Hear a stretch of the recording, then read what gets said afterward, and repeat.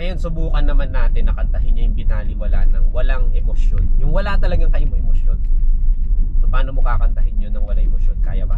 Kayang-kaya naman.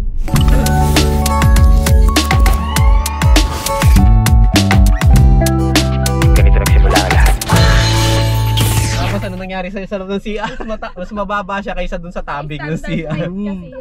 Dapat binaba nila. Oo nga. Wawa naman Ba't yung wala mga pong pambata dun kasi na cubicle?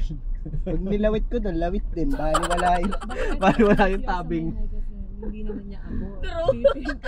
So guys, kung hindi nyo ka naman. kung hindi nyo ma-imagine yung pinoproblema ni Ducci dun sa CR, gagawin ko na illustration ba? Hmm, Bali wala.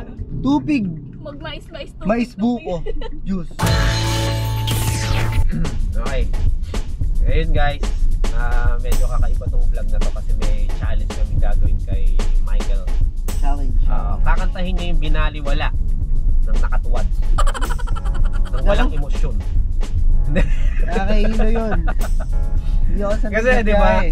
dun sa Wish at saka dun sa mga ibang live niya, kung makikita niyo siya, grabe talaga yung emosyon niya pag kinakanta niya mga message eh, no? Kinawawa May ba? ako eh. Kinawawa Ganyan ba yung tsura mo? Lupit ng binagagawa sa akin. Nag-chat nga yung kaibigan ko, Brad. Hmm. Memes na yung nangyari dun sa... Yaan mo na, madami ding nagtatanggol sa Yun nga yung ano, doon ko nalaman. Grabe, kung makikita mo dyan, yung mga, mga nag-aaway-away. Pero the best to, oh, yung my god, these allergies, napaka-witty, no? Nagkita Napaka- si allergy. Ngayon, subukan naman natin na kantahin niya yung binaliwala ng walang emosyon. Yung wala talagang kaimo-emosyon. So, paano mo kakantahin yun ng wala emosyon? Kaya ba? Kayang-kaya naman. Pero try natin, game. No. Tapit ka ng konti. Walang emosyon. Walang emosyon. Tanggalin natin ito. O, sige. Ikaw na pala ang may-ari ng damdamin ng minamahal ko. Pero may alon pa rin boss May ko, alon diba? pa rin, ano, Bakit mo. sabi na lang? Pero ano eh, pero ako ah, pag pina, pinakikinggan ko, hindi kita tinitignan. Hmm. May something pa rin na hindi ganun sa pag may Hindi emosyon ganun ka. ka, Oo. boom, ano? Sige, kantahin mo na may emosyon. May emosyon. Pag may emosyon naman guys, ganito yung galawan na. Ah. Ikaw na pala. Ayun oh, 'di ba? Isa pa. Ikaw na Ayun, pala. oh. 'Di ba? Doon pa lang sa ikaw. Oh, hindi ko nga mag ikaw. Ano? May-ari ng damdamin ang minamahal ko. Yung ikaw ang hirap gayahin. Kaya ano eh. Isa pa nga ang ikaw. Ikaw na Oo. pala. Paano 'yun? May nilulunok kang laway? Ewan ko nga, hindi ko nga din alam eh. Basta paligin, ko, paligin mo lang din yung mukha mo. Try mo, try mo ngayon. Ay. Palingin yung mukha. Ikaw na pala. Yan, ganyan, mismo. Yun, walang Tsaka sikreto yung ano nun. yun, yung labi. Yung Dapat, dapat nakasad. Nakaganon. Emoticons, oo, sad Ah. emoticons. Ikaw, hindi, mahirap talaga Ikaw eh. na pala.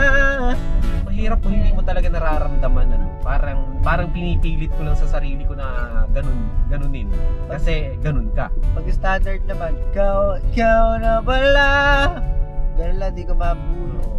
Saka may Yung bali eh. may bawat dulo kasi nung ano mo, nung mga ano, yung pala.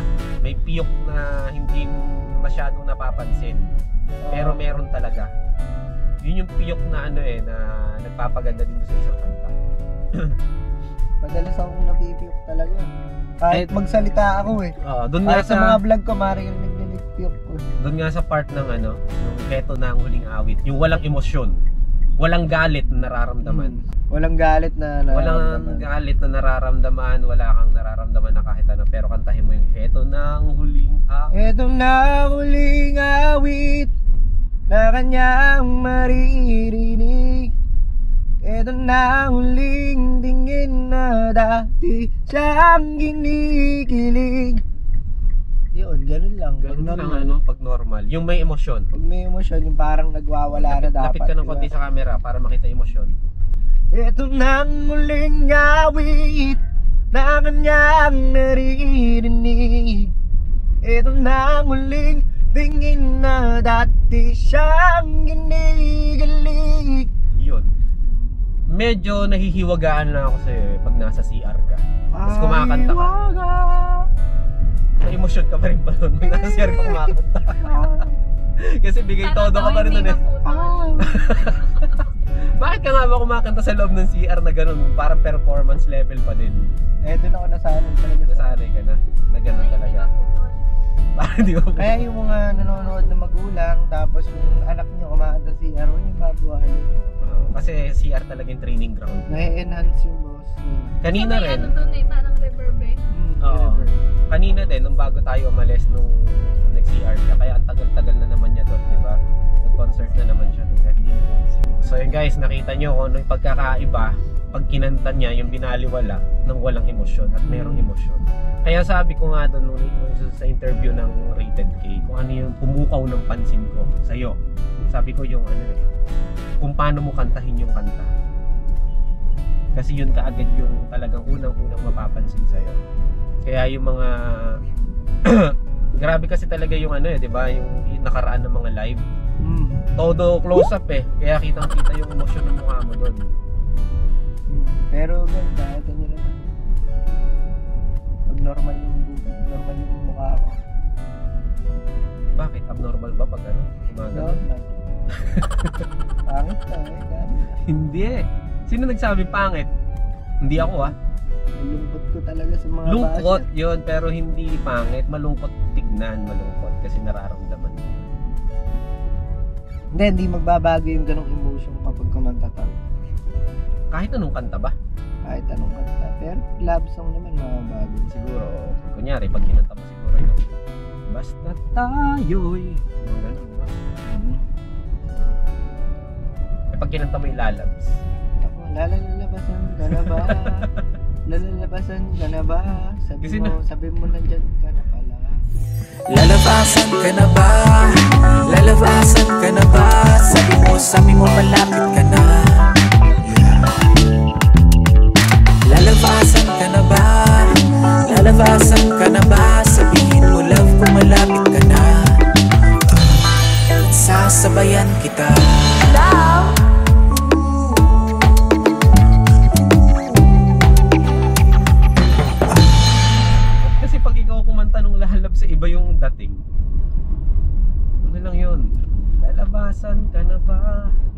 May emosyon din yun eh pag kinakanta ko. May emosyon din. Ano yung emotion doon?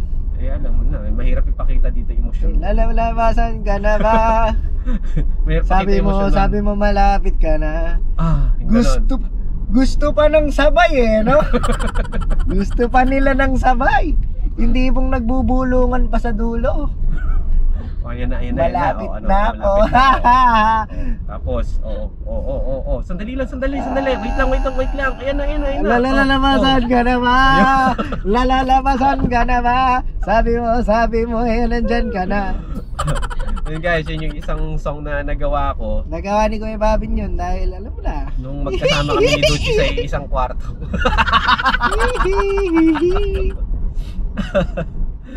yun. Alaga Yan ang totoong kwento ng kanta na yun. So, uh, check nyo lang para ma- kung curious kayo, nandyan lang yun. So, yun. Ayun lang guys. Ah, ngayon alam nyo na yung pagkakaiba pag kinanta ni Michael yung binaliwala na may emosyon at walang emosyon. So napaka-importante talaga ng ano, emosyon dun sa kantang binaliwala. Yung emosyon na binaliwala. So huwag kalilimutan mag-subscribe sa channel namin, channel ni Michael. Dito lang sa baba, dito sa baba.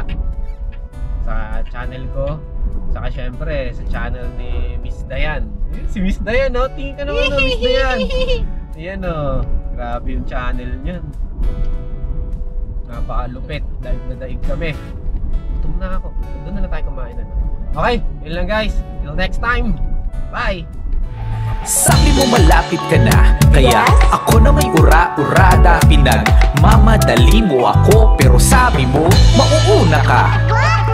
Di ko maintindihan Laban mo ba talaga? Bilisan mo na. Hindi ko na to kaya Ayoko na nag-iisa. Magnauna ako Paano na ba Nagagalit? Balik-balik Paikot-ikot Palibat-libat Nagpapakipot. Parang coaching Bagong gulong Sabik na sabik na pagulong-gulong. Bawat